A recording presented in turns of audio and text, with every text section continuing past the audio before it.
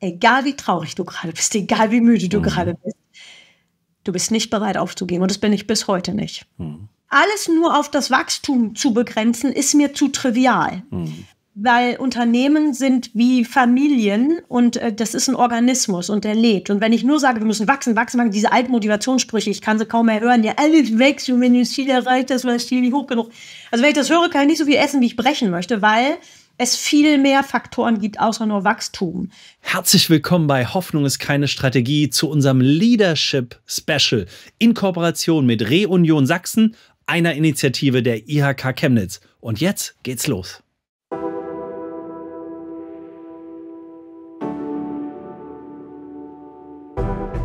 Herzlich willkommen bei Hoffnung ist keine Strategie, dem Podcast mit spannenden Strategiegeschichten von gestern, heute und morgen.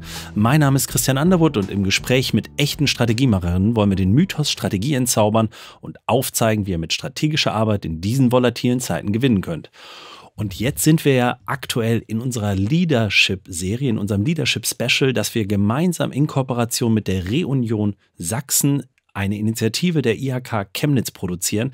Und ich begrüße heute ganz besonders, leider nicht im Studio bei mir, aber zumindest mal im virtuellen Studio bei mir, ganz, ganz herzlich Daniela Ben Said, die ja über 30 Jahre Erfahrung mitbringt als Unternehmerin, Autorin von über elf Büchern und wirklich eine der meist ausgezeichnetsten, man sieht es ein bisschen sogar im Hintergrund für alle, die uns zuschauen, Speakerin, Vortragsrednerin, die wir in Deutschland haben.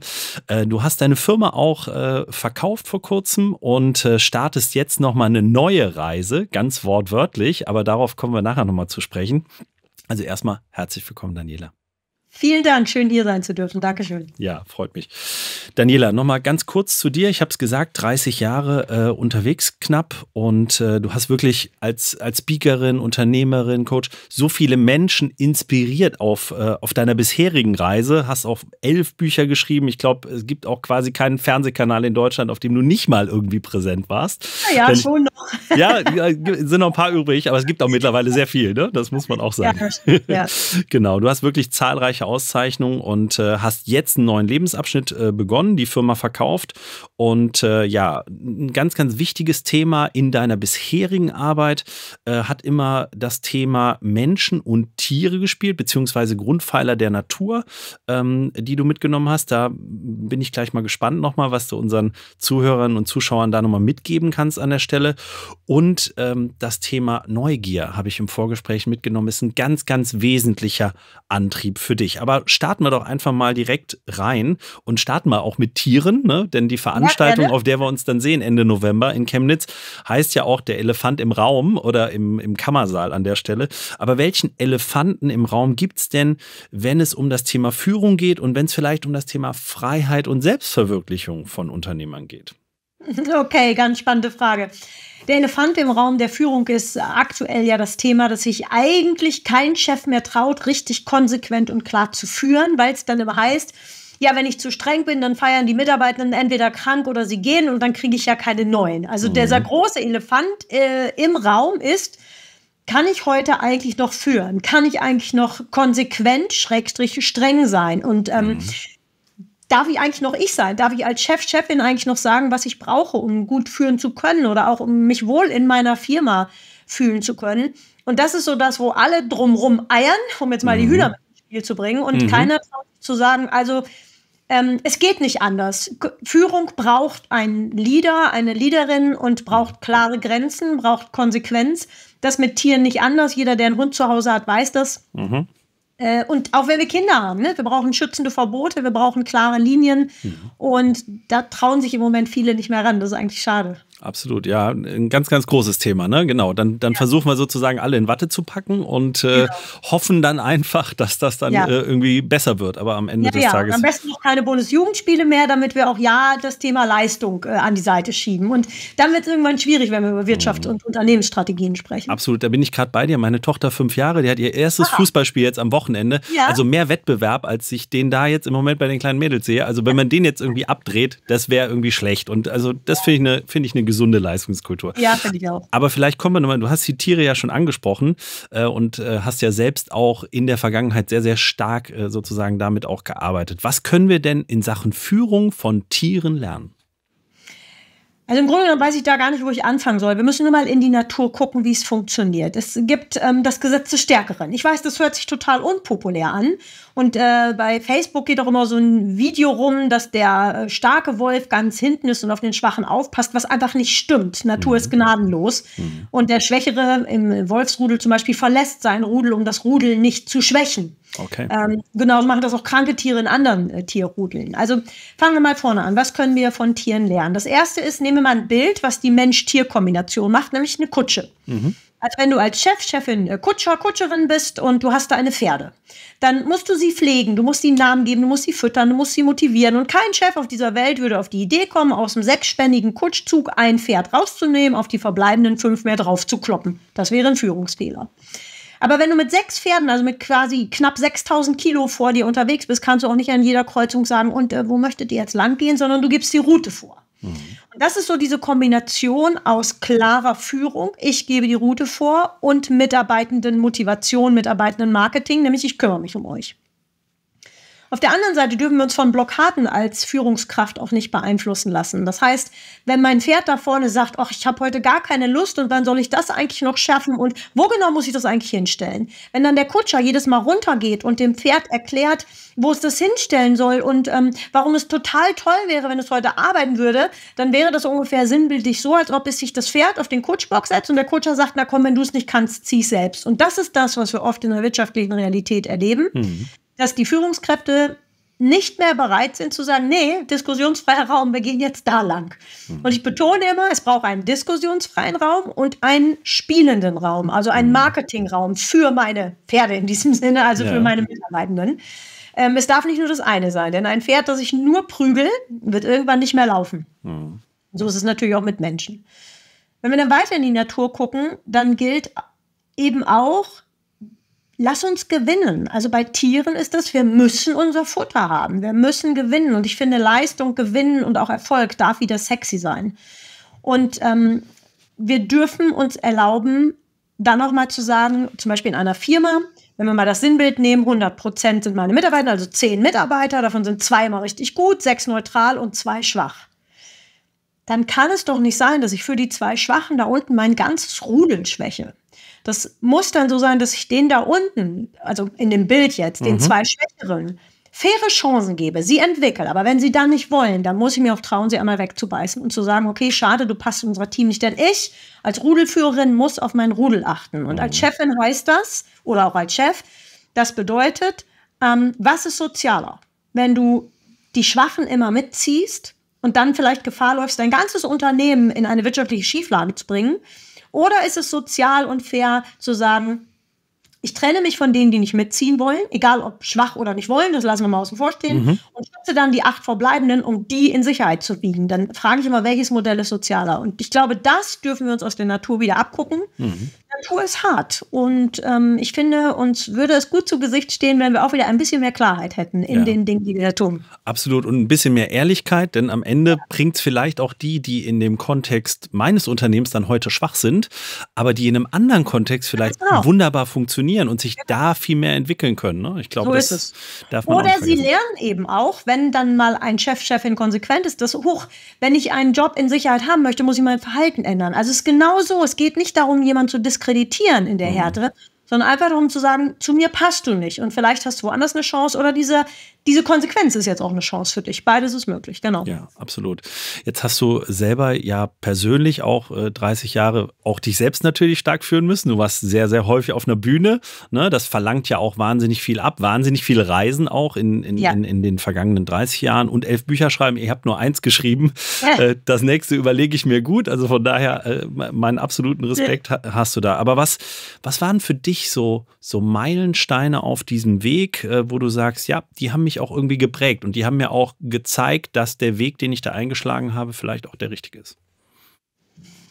Hui, auch das lässt sich nicht sehr kurz beantworten. Es waren so viele Meilensteine. Also ähm, ich komme aus sehr einfachen Verhältnissen und habe sehr viel Lästern und äh, Alleine sein mhm. erlebt in meiner Jugend. Da, mhm. da ist dann äh, der Weg zu den Tieren gekommen. Mhm. Und es gab auch tatsächlich die Phase in meinem Leben, wo ich einfach nur reich sein wollte. Ich wollte okay. ganz niederer Beweggrund. Ich wollte Geld haben, ich wollte nicht mehr in billigen Klamotten rumlaufen, ich wollte große Autos fahren. Ja, diese Phase gab es auch. Mhm. Aber könnten wir jetzt sagen, mal das große Leben, dann machen wir das mal ein bisschen äh, wertneutraler. Ja, genau. Ja, ich äh, sage das ruhig so, weil ich finde es auch nicht schlimm, wenn man sagt, ich habe Bock auf Reichtum. Auch das dürfen wir uns erlauben. Mhm. Und ich hatte einfach Bock auf Reichtum mhm. und ganz ordinär viel Geld wollte ich haben. Das Ganze ging dann, und das war wohl das Prägendste, ich habe ja mit 15 Quadratmeter im Keller meiner Eltern angefangen. Ich habe vor der Schule geputzt, also ich, ich, scheue mich auch vor keinem Job. Ich habe für 3,50 Mark die Stunde gearbeitet. Mhm. Und dann hatte ich meine Firma gegründet ähm, am 01.01.98 und habe dann es wirklich geschafft, auch Karriere zu machen. Und dann kam das, was für mich bis heute das Prägendste ist. Die Gefahr von Erfolg ist, dass du denkst, dass du unbesiegbar bist. Mhm. Und das hatte ich. Ich war, ich hatte ja nichts zu verlieren, so war ich auch recht mutig, bin immer gewachsen. Das gipfelte 2011, 12, 13, war ich unfassbar erfolgreich, wahnsinnig viel Geld verdient. Habe mir natürlich auch die teuren Autos, Uhren und Klamotten gekauft. Mhm. Äh, habe aber auch meinen Bauernhof gekauft, auf dem ich mit über 70 teils aus schlimmsten Verhältnissen geretteten Tieren lebe. Mhm. Habe mich auch immer für Bedürftige eingesetzt, aber das nur am Rand. Und ähm, dann kam ein Investor auf mich zu und sagt, Dani, wir machen aus deiner Firma ein 7 Millionen Unternehmen. Mhm. Und da ich dachte, ich bin unbesiegbar, habe ich diesen Investor mit in meine Firma genommen. Und das war der schlimmste unternehmerische Fehler, den ich je begangen habe, denn ich habe mich verloren, ich habe meine Kunden verloren, weil ich gar nicht mehr ich war. Ja? Es gab mhm. nur noch höher, schneller, weiter. Auf einmal musste ich nur noch Business Class fliegen, weil wer fliegt denn Economy? Also ich, ich war auch richtig blöd, muss man einfach sagen. Mhm. Ich war eine richtig arrogante Kuh. Ähm, ich war nur mit diesen ganz superreichen zusammen und habe gedacht, ich äh, gehöre da jetzt auch zu, obwohl ich mich da eigentlich gar nicht wohl gefühlt habe. Make a long story short, ich bin mit meiner Firma richtig abgeschmiert. Mhm. Und äh, dann kamen die Umsätze nicht mehr rein, dadurch blieben die Gewinne aus, der Investor war sauer. Und es gipfelte dann darin, dass er mir irgendwann eine E-Mail schrieb, ähm, ich bringe dich in den Knast und schick dir einen Kuchen. Mhm. Und das war einer der schwersten Momente meines Lebens, weil ich dachte, ich verliere alles. Mhm. Und mein Horrorbild war, ich verliere alle meine Tiere. Und ähm, puh, das war knapp. Das waren sehr dunkle Stunden. Und ich habe es dann mit ganz vielen Bankgesprächen geschafft, dass die Bank mir über eine Million zur Verfügung stellt, ähm, damit ich mich freikaufen konnte. Mhm. Diese Million zahle ich heute noch ab im Übrigen. Mhm. noch drei Jahre. Okay. Und ähm, dann war ich wieder frei und musste mich ganz schön wieder hochackern. Das war das Prägendste für mich und dadurch habe ich gelernt, ähm, glaube nie, dass Erfolg dich unbesiegbar macht. Mhm. Und mir ist meine Oma bewusst geworden, sie hat mir immer beigebracht, und ich hatte es eine Weile vergessen, hab den Kopf in die Wolken und die Füße am Boden. Mhm. Und ich glaube, das war, ich hatte den Kopf in den Wolken, aber die Füße nicht mehr am Boden. Und das war insofern vielleicht der notwendige Schlag auf den Kopf, ähm, um zu sagen, so, bleib mal, finde dich mal. Und ähm, mhm. es war für mich gut, auch wenn ich es bitte nicht nochmal möchte. Ich habe dem lieben Gott immer gesagt, okay, lesson learned, reicht jetzt. Und ähm, aber es war für mich gut, wenn heute jemand kommt und sagt, ich bringe dich nach ganz oben und sagst du, da wo ich bin, ist super. Mhm. Deswegen habe ich auch keine Lust mehr, noch mehr zu machen, noch mehr Karriere. Ich fahre jetzt ein 13 Jahre altes Auto und bin da mhm. auch happy mit. Und ich gehe in Chucks auf die Bühne, die 20 mhm. Euro kosten. Aber das war ein Prozess, den ich lernen musste. Und ähm, diese Entwicklung, wie sagt man so schön, von einer, von einer Raupe zum Schmetterling, das äh, hat gedauert und tat auch weh. ja, genau. Ich glaube auch immer, das, das muss wehtun, weil wenn man, wenn man immer nur die Treppe nach oben fällt, dann dann ist irgendwann. Wachstumsschmerzen, äh, ja, ja, genau. Ja, ja genau, so, so Wachstumsschmerzen. Aber äh, jetzt übertragen wir das mal vielleicht auf andere Unternehmer in ihren Unternehmen. Ne? Da ist immer gut gelaufen, äh, ja. das lief von selbst und plötzlich kommt man in, dann struggelt ja. man. Ne? Dann plötzlich brechen die zwei, drei großen Kunden weg, die gehen in Insolvenz, es sind wirtschaftlich schwierige Zeiten, dann laufen die Mitarbeiter nicht mehr mit. Und dann macht das ja auch was mit dem eigenen Selbstbewusstsein, weil den, der, der, eigene Modus, den du dann hattest, plötzlich funktioniert der nicht mehr. Wie genau. hast du das, also du hast jetzt gesagt, äh, ne, du hast es finanziell gelöst äh, an der Stelle und hast da Gespräche geführt, aber was hat das mit dir persönlich gemacht? Wie hast du persönlich sozusagen ja. die Kurve gekriegt? Ja, das ist eine ganz wichtige Frage, vor allen Dingen auch zum Learning für andere. Ähm, wir sprechen immer so schön von der Plus-Motivation, ne? dieses Hinzu, bau dir ein Ziel, mal dir ein Vision Board und bla bla bla. Ich finde, wenn du in der Krise sitzt, dann hilft dir diese Rotz gar nicht, weil mein Vision Board hat mal gerade so gar nicht funktioniert, das 7 Millionen Unternehmen. Und ähm, ich mag Minus-Motivation. Mhm. Ich mag ähm, die Weg von Motivation. Warum? Ich glaube auch, dass sie sehr wirkungsvoll ist. Mhm. Ich habe ähm, mich in dieser Phase gefragt, warum soll ich eigentlich durchhalten? Komm, ich hatte eine GmbH, liegt eine Insolvenz in 25.000 weg, was soll's? Mhm. Aber als Geschäftsführerin habe ich eben auch privat gehaftet und mein Hof wäre weg gewesen. Mhm. Und den Hof habe ich mir vor 15 Jahren leisten können, auch über die ganze Arbeit. Und ähm, mein Horrorszenario war, ich habe ein ganz, ganz schwer misshandeltes Pferd. Wirklich schwerst misshandelt. Das will ich hier gar nicht ausbreiten, weil es viel, viel zu schlimm ist. Mhm. Dieses Pferd hat keinen Menschen an sich gelassen. Mein Mann war irgendwann so verzweifelt, weil ich so verzweifelt war, und hat gesagt, ich schieße dieses Pferd, bevor es dich umbringt. Also die hat wirklich, die hat mich angegriffen, die ist mit mir an die Wand gerannt, die hat mich im Pferdeanhänger eingequetscht, sodass mein Arm gebrochen war. Es war eine Katastrophe. Und ich habe nach vielen, vielen Jahren Arbeit dieses Pferd auf meine Seite gekriegt. Sie hat sich nachher für mich hingelegt und alles. Und ich habe dann gedacht, so, wenn ich jetzt versage, wenn ich jetzt aufgebe, hatte ich vor meinem inneren Bild immer einen grünen LKW, der vom Hof fährt, wie ein Kloß beim Hals, und mhm. ähm, dieses Pferd steht da drauf und dreht sich um und guckt mich an. Und dann habe ich immer gesagt, das darf ich nie zulassen. So habe ich mich im Übrigen auch über die Corona-Krise hinweggesettet. Mhm. Weil ich gesagt habe, egal was, du musst und du willst Lösungen finden, weil dieses Minusbild war so stark für mich, mhm. dass ich gesagt habe, auf gar keinen Fall lasse ich das zu. Und das ist auch mein Antrieb bis heute. Mhm. Ich lasse nie zu, dass mir mein Hof, meine Tiere, dass mir das irgendwie genommen wird. Und dafür werde ich kämpfen wie ein Derwisch. Und äh, in der Corona-Zeit habe ich hier einen Campingplatz aufgemacht, um Geld zu verdienen und habe Reitunterricht gegeben. Also mhm. äh, ich glaube, dass wir eine gute Kombination haben aus dem Hinzu, was Spaß macht. Mhm. Mal dir auch mal ruhig das Horrorszenario aus. Was ist der schlimmste Fall? Mhm. Und dann überlege dir gut, bist du bereit, diesen schlimmsten Fall zu akzeptieren oder hast du auf einmal doch wieder Kraft zu kämpfen? Weil aus meiner Sicht geben viele einfach zu früh auf. Ich wollte so oft in meinem Leben schon aufgeben. Mhm. Ich bin so oft schon gestruggelt und gefallen und habe Fehler gemacht und dummes Zeug gemacht. Aber dieses Bild hat mir immer wieder gesagt, so, egal wie traurig du gerade bist, egal wie müde du mhm. gerade bist, du bist nicht bereit aufzugeben. Und das bin ich bis heute nicht. Mhm. Sehr, ja. ja, ein sehr, sehr schönes Bild. Also sozusagen auch seinen eigenen Referenzraum zu setzen, was dann Erfolg bedeutet, beziehungsweise was einem wirklich wichtig ist. Ganz genau, das ist es. Hm. Was bist du bereit dafür zu tun? Und da, also für meinen Hof tue ich schon so einiges. Ja, sehr gut. Ist, ist das sozusagen für dich auch ein, ein, ein, guter Gradmesser zu sagen, ne? weil immer höher, schneller, weiter, du hast das gesagt, ne? wir wollen ja. natürlich immer wachsen und wir brauchen es ja. auch, das Wachstum in den Unternehmen, aber auch für sich klar zu machen, was sind wir wirklich und was will ich wirklich auch für Ganz ein genau. Unternehmen haben und was will ich führen. Ne? Ganz genau. Und auch welchen Preis bist du bereit für den Wachstum zu bezahlen? Mhm. Ja, also ähm, manchmal ist es ja klüger zu sagen, ich habe jetzt meinetwegen zehn Mitarbeitende, mit denen mache ich Umsatz X und damit mhm. sind wir alle safe und sicher.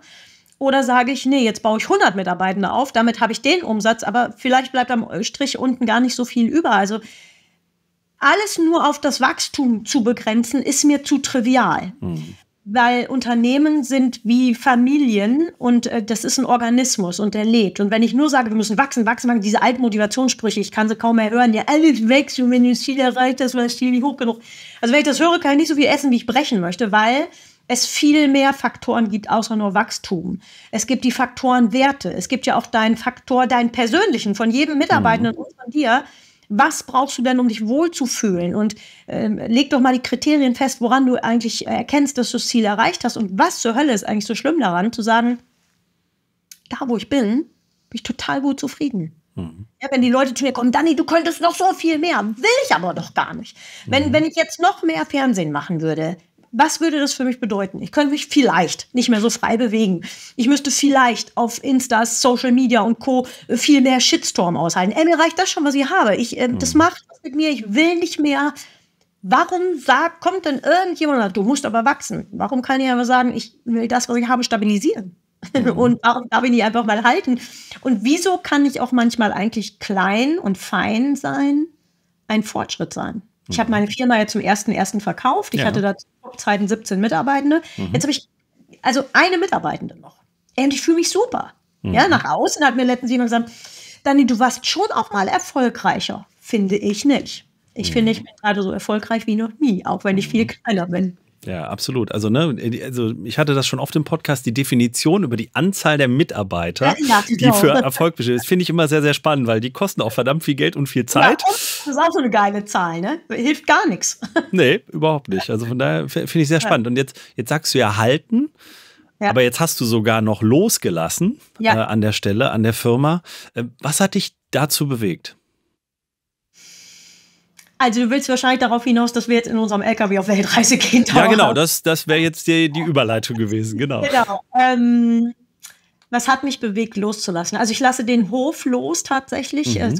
Meine Nichte zieht zu oft den Hof und. Ähm, also der ähm, ist immer noch in guten Händen. Das ist ja immer wichtig, weil ist der ja wichtig, ne? Bleiben alle hier, genau. Mhm. Ohne das wird es nicht gehen. Die Tiere bleiben alle hier. Meine Pferde kommen zu einer ganz lieben Freundin von mir, die sich um die Tiere kümmert, aber sie bleiben mein Eigentum. Mhm. Und ähm, wir fahren tatsächlich los, so wie es die Firmen meines Mannes erlauben, dauerhaft und oder mal immer wieder zwischendurch hier in Deutschland mhm. zu sein. Und was ich jetzt sage, soll nicht despektierlich klingen. Ich habe für mich alles Berufliche erreicht. Mhm. Und ich glaube, dass dann irgendwann dieser Punkt kommt, gehabt haben, befreit von haben wollen. Mhm. Es gibt kein Ziel mehr beruflich, das mich so kickt, dass ich sage, und jetzt brenne ich noch mal komplett durch im Kopf. Nee. Ähm, ich habe zum Beispiel gemerkt, dass ich nicht mehr so richtig, also Lust schon noch zu den Vorträgen, aber ich war nicht mehr aufgeregt. Mhm. Ich habe mich nicht mehr hingesetzt vor dem Vortrag, habe alles aufgeschrieben, obwohl ich ihn schon eine Million Mal gehalten habe. Das habe ich sonst immer gemacht. Mhm. Und ich merkte so eine Müdigkeit. Und jetzt war ich ja fast ein Jahr raus und ähm, halt jetzt die Vorträge anhand der Globetrotter-Strategie, also was wir von Weltenbummlern lernen können für Führung, mhm. Verkauf, Persönlichkeit. Und da merke ich, es macht mir wieder richtig Spaß. Ich mhm. habe Lust darüber zu erzählen, die Bilder zu zeigen, wie wir uns festgefahren haben, wie wir andere gerettet haben und das dann so übertragen, festgefahrene Kommunikationsstrategien auflösen. Und ich merke einfach, es kommt wieder die Energie in mich mhm. rein. Dazu habe ich noch Lust. Mhm. Und ähm, ich möchte die Welt gerne entdecken. Und vor allen Dingen möchte ich mir erlauben, ähm, ja, einfach nur Mensch zu sein. Mhm. Ich habe mich von jetzt die, dieses blöde Bild von ganz, von sehr weit unten sehr hoch gearbeitet und das habe ich gemacht mit sehr viel Selbstdisziplin, mit auch manchmal Selbstgeißelung. Ne? Du musst immer dünn sein, du musst immer ähm, perfekt angezogen sein. Und Im Fernsehen und on stage, ne? Ist natürlich schon ein Druck. Ne? Mhm. Genau, und, und jetzt mir zu erlauben, ja Gott, dann habe ich jetzt halt fünf Kilo mehr. Und ähm, ich gehe jetzt in der Bühne in Outdoor-Klamotten, weil es viel besser zu meinem Thema passt. ich liebe es, wenn wir in unserem LKW unterwegs sind, einfach wochenlang ungeschminkt zu sein, weil mhm. eigentlich jetzt dieser Teil in mir leben darf, den ich viele Jahre unterdrückt habe, nämlich die kleine Dani, das ist mhm. Bauernmädchen, das einfach gerne, gerne einfach nur isst und mhm. ohne sich beweisen zu müssen. Und ich bin auch ein bisschen müde, immer bewertet zu werden. Ich wurde mhm. jetzt über Jahrzehnte bewertet. Mhm. Und ich mag es jetzt einfach im LKW zu sitzen und wenn wir mal Nachbarn haben, was selten passiert und die mögen mich nicht oder ich die nicht, dann fahren wir einfach weiter. Sehr schön. schön. Ja, das klingt gut. Und jetzt, ich übertrage das jetzt nochmal auf andere Unternehmer, die mir dann so begegnen, ja. die, weiß ich nicht, mit 70 plus dann noch ihren Laden führen, weil sie vielleicht keine andere äh, Aufgabe für sich, für sich finden. Aber dieses, dieses Loslassen und also wir sprechen ja auch dann von Freiheit. Und als Unternehmer sind wir ja ich schließe mich jetzt mit ein, äh, ist Freiheit nur relativ. Ne? Das heißt, wir versuchen sie uns in kleinen Momenten. Ne? Also ich, genau. wir haben jetzt hier im Podcast ja auch die Kollegen mit dem Motorrad, die haben sehr viele Unternehmer, weil dann fühlen die sich beim Motorradfahren plötzlich mal frei und kommen wieder in der ja. Firma an und dann geht es wieder von vorne los. Also ja. du hast jetzt mal die Freiheit gewählt und die Neugierde auf was Neues, um dich auch vielleicht nochmal selber anders kennenzulernen? Genau, genau. Ich möchte wissen, wer bin ich ohne Erfolg. Hm. Ich möchte wissen, wer bin ich ohne all das drumherum. Mhm. Und da freue ich mich total drauf, das zu entdecken. Ja, sehr gut. Und was entdeckst du da? Also, ihr habt schon ein paar Touren gemacht äh, ja, an der genau. Stelle. Also, weil so ein Auto, habe ich gelernt, muss man ja kennenlernen. ja, genau. Wie, wie, geht so ein Reifenwechsel? Also, ne, nicht einfach mal losfahren. Das ist dann, äh, wird dann spannend, je nachdem, wo man ist. Äh. Wird, wenn du in Algerien stehst und du weißt nicht, wie du Reifen wechselst, ja. Ja, genau. Aber was, was sind denn auch für, äh, auch wenn da jetzt dann vielleicht nicht viele Menschen sind, aber es sind natürlich auch Begegnungen mit Menschen ja. dabei äh, an der Stelle. Ja. Was, was lernt man da? Also für, für uns war ja die, also mein Mann und mich, wir reisen ja mit unseren fünf Hunden in dem LKW. Und, also ohne, ähm, Tier, ohne Tiere geht es dann auch ohne nicht. Ohne Tiere ne? geht es nicht, nein, nein. Nicht ohne meinen Hund. genau, nicht ohne meine Hunde. Hunde, ja, ist noch besser. Und ähm, das Prägendste war für mich eigentlich, mich selber zu erkennen. Wir hatten ein, äh, eine Tunesienreise vor zwei Jahren und ähm, ich habe eigentlich immer gedacht, ich bin super offen und freundlich mhm. und kommunikativ und wir hatten so eine Situation, wir standen am Kolosseum in Tunesien und ähm, es hat an der Tür geklopft. Und ich war so ein bisschen so, passiv-aggressiv, möchte ich mal sagen. Wer will denn jetzt schon wieder was verkaufen? und reiße also auch mit dieser Energie die Tür auf und dann steht ein super freundlicher Mann vor mir mit so einer Art Tupperdose, richtig groß, in der Mandelcreme war. Mandeln sind in Tunesien total teuer. Und er hält mir also einfach diese Mandelcremedose entgegen und sagt, das hat meine Frau für euch gemacht.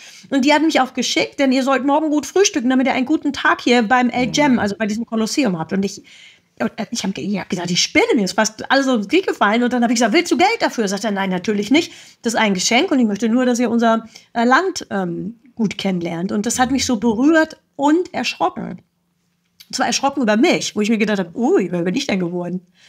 Und eine zweite Situation war, wir hatten uns verfahren in den Bergen und haben keinen Platz gefunden, wo wir übernachten können. Und jetzt muss man sich nur mal vorstellen, in Deutschland würden Ausländer bei euch an der Tür klopfen, abends um neun, ähm, mit einem Wohnmobil oder mit einem LKW, mit fünf Hunden, davon sind zwei sogenannte Kampfhunde. Und die würden dann sagen, guten Abend, wir haben uns verfahren, dürfen wir bei Ihnen im Vorgarten schlafen. Also so schnell können die Polizei gar nicht ankommen, wie sie sein soll. Und du lädst sie dann noch zum Essen ein und sie dürfen natürlich und reinkommen, ne? Ist ja klar. Essen und, und durften das Badezimmer benutzen. Und da habe ich gedacht, Mensch, ich möchte in meinem Leben was verändern. Und so ist das mhm. entstanden. Okay, ja, wunderschön. Wie, was, was würdest du denn jetzt aus diesen, ja, sind ja schon erste Lehren und du hast ja gesagt, ja. ab und zu hältst du dann auch noch einen Vortrag, aber dann genau. jetzt mit diesem Thema, wenn es wirklich Spaß macht. Was würdest du jetzt Unternehmern, Führungskräften nochmal mitgeben in diesem Selbsterkennen? Weil es äh, natürlich spielen wir alle auch gewisse Rollen in den verschiedenen ja. Systemen, in denen wir ja. unterwegs sind. Und dann ist natürlich auch nicht immer so einfach, jetzt so ganz offen, ganz wirklich authentisch zu sein. Aber was würdest du denen mitgeben? Wie, wie wichtig ist das auch, wenn man sich da nicht selbst vergessen will oder in einer also, falschen Rolle spielen? Ja, jetzt mal ganz unabhängig von den Erlebnissen, die das nur unterstreichen, wissen wir ja aus der Wissenschaft, das wahre Führungs, ähm, Führungshaltung ist nicht das Verhalten, sondern wahre Führungshaltung ist ja die Klarheit der Emotionen. Mhm. Und deswegen äh, sage ich immer, wenn ich Führungskräfte coache, das Erste, was du lernen musst, ist Klarheit deiner Emotionen. Und das ist auch das, was wir auf den Reisen so lernen. Das heißt, wenn wir gerade selber nicht wissen, nehmen wir das Corona-Beispiel, wo wir alle, alle morgens nicht wussten, welche Regel nachmittags gilt. Ich habe dazu Forschung gemacht im Rahmen meiner Masterarbeit. Da war das Wichtigste, zu überlegen, wem sage ich wann, was, in welcher Form und aber auch offen zu sagen, das ist der Stand bis jetzt. Wir wissen nicht, ob das nachher noch so gilt. Mhm. Also schon die Klarheit der Emotionen, aber auch zu seinen Mitarbeitenden zu sagen, ähm, mich macht das gerade wütend. Ich muss dadurch ja nicht äh, hysterisch oder jähzornig werden, aber die Klarheit der Emotionen schon zu formulieren oder das enttäuscht mich oder ich bin gerade traurig. Ich glaube, dass das der Schlüssel für gute Führung ist. Klarheit und auch eine gewisse Härte kombiniert mit Konsequenz, mhm. das meine ich mit Härte. Aber dann eben auch diese Emotionsklarheit zu sagen, das ist das, was ich gerade fühle. Und was wir alle lernen dürfen, alle, auch ich darf das noch jeden Tag trainieren, ist, wir sprechen alle über die Diversity, Diversität und Offenheit. Komm, und dann müssen wir doch mal ehrlich sein, wie offen sind wir denn, wenn eine Kassiererin Kopftuch um hat? Oder wir in der Kantine als Unternehmer auf einmal Halal-Gerichte anbieten müssen oder Koscher-Gerichte. Wir sind nicht so offen. Mhm. Da sage ich mal, fang mal an, deine Zahnpasta-Marke zu wechseln. Und wenn du da mit dieser mutigen Aktion durchgekommen bist, dann nimm doch mal jeden Tag einen anderen Weg zur Arbeit. Und dann begegne doch mal den Menschen tatsächlich mit dem Gedanken, spannend. Ich äh, möchte dich kennenlernen, weil ich dich nicht verstehe. Ich verstehe in der Welt ganz viel nicht. Ich verstehe viele Kriege nicht. Aber was machen wir, damit es einfach ist? Wir machen Raster auf und das machen wir in der Führung. Der Mitarbeiter ist gut, der ist schlecht, anstatt mal hinzugehen, warum verhältst du dich denn so? Was sind mhm. deine Beweggründe? Ich will dich verstehen und ich will von dir lernen.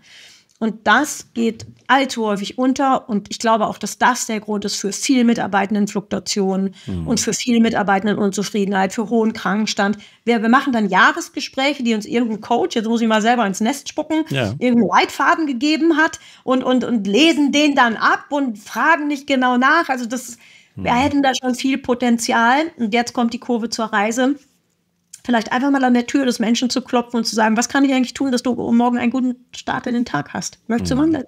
Mhm. Sozusagen jede, jede Situation vielleicht auch besser hinterlassen, als ich, genau. die, als ich sie vorgefunden habe. Ne? Und, so äh, und das braucht aber dann wirklich echtes Interesse an den Menschen, an ihren. Bedürfnissen, dabei aber gleichzeitig nicht die Unternehmung und auch die Zielsetzung der Unternehmung aus dem Blick Ganz zu verlieren. Ne? Das, genau. äh, ich glaube, das ist ja unsere Hauptaufgabe, Sicherung des Unternehmens, damit mhm. wir Menschen Existenzen bieten können. Genau. genau. Ja, ja, sehr gut. Wahnsinnig viel mitgenommen hier in dieser kurzen Podcast-Reise, die wir jetzt hier äh, zusammen hatten. Du bist natürlich auch im November dabei, ähm, wenn es äh, dann nochmal auf die Bühne geht. Also ein ganz besonderer genau. Auftritt für alle, die da dabei sein dürfen, denn so oft sieht man dich dann äh, ja nicht mehr. Ich bin gespannt genau. äh, auf die Outdoor-Klamotten. Das freut mich auch schon sehr. Aber vielleicht zum, zum Abschluss unserer Folge hier nochmal so ein, so ein ganz konkreter Ratschlag für Unternehmer. Du hast jetzt sozusagen diesen, diesen Weg geschafft. Du, du sagst, okay, ich habe diese Karriere gemacht, ich habe das alles erreicht und jetzt will ich mich nochmal selber finden. Und ich nehme mal Freiheit und Authentizität in der Führung als jetzt ein wesentliches Thema. Jetzt bin ich Unternehmer, jetzt habe ich den Podcast gehört und sage so, geil, aber ey, die Weltreise, das kann ich jetzt nicht machen. Ähm, Dani, sag mir doch mal, was ist denn jetzt der erste Schritt für mich, wie ich nochmal selber näher an mich rankomme?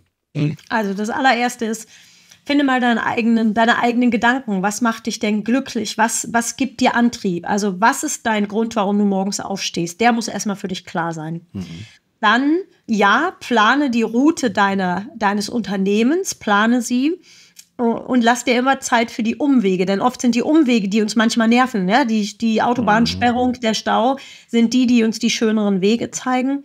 Und vor allen Dingen, und das ist das Wichtigste, wir, ich glaube, wir in Deutschland sind zu Risikomanagement orientiert, dass wir alles absichern wollen. Das kannst du als Globetrotter nicht. Wenn du dich, die Frage ist nicht, ob du dich festfährst, sondern nur wie oft und wie schwer. Mhm. Das wird auch mit unseren Unternehmen so sein. Wir werden immer eine Welle haben, dass wir uns mal irgendwie festfahren und dass wir da gar keine Angst vor haben, sondern einfach sagen, okay, wir sind jetzt schon so krisenerprobt. Jeder, der schon 20 Jahre seine Firma hat, der hat schon Finanzkrisen mitgemacht, wir haben eine Virenkrise mitgemacht, wir haben so viele Krisen schon mitgemacht. Nimm diese Ressource und sag, hey, ich war schon so oft festgefahren, ich weiß genau, welches Sandblech ich rausholen muss. Mhm. Und wenn nicht, dann frage ich andere oder ich äh, probiere einfach aus. Manchmal ist es auch das. Ich glaube, was wir wieder viel mehr brauchen, ist der Mut zu Fehlern, mhm. der Mut, sich festzufahren, um in diesem Bild zu bleiben und dann zu sagen, ich äh, verliere ja nicht, ich lerne ja nur. Und ähm, ja, die Zeiten sind vielleicht gerade schwer, aber da halte ich es gerne mit dem Motto von Pippi Langstrumpf, die auf dem Schiff sitzt und es kommt ein Sturm auf und Annika sagt, Pippi, der Sturm wird stärker und Pippi sagt, macht nichts. Ich auch. Mhm. Und so ist es ja im Leben, egal ob wir reisen oder und das Unternehmen unsere Reise ist. Keiner mag sich gerne festfahren, keiner mag gerne eine Krise haben. Sie kommen, mhm. Und dann musst du sie lösen. Das ist einfach unser Job. Und äh, daran gilt es nicht zu verzweifeln, sondern daran gilt es zu wachsen und zu sagen, ehrlich gesagt, die festgefahrenen Situationen geben die geilsten Erinnerungen später. Und ähm, das ist auch das, was uns am meisten nach vorne bringt. Und in diesem Sinne würde ich einfach sagen, lass, lass es auf dich zukommen. Du kannst nicht alles im Vorfeld lösen. Mhm. Vertraue deinen Fähigkeiten, du kommst schon raus. Mhm. Aber mit dem richtigen Mindset und der Resilienzerfahrung, die wir sozusagen ja, genau. haben und aufgebaut haben, geht es dann auch weiter voran. Genau. Herzlichen Dank für diesen, ja, für diese kleine Podcast-Reise, die wir heute haben durften. Ich wünsche dir, äh, sagt man dann allseits gute Fahrt, äh, würde ich jetzt ja. mal, würde ich jetzt mal so mitgeben an der Stelle. Unterm Blech. okay, sehr gut. Und wir sehen uns dann in, in, in Chemnitz an der Stelle. Herzlichen Dank für die, für die wirklich tollen Einblicke und auch für diese persönlichen Geschichten. Ich danke dir ganz herzlich. Danke für die tollen Fragen. Tschüss. Danke, ciao.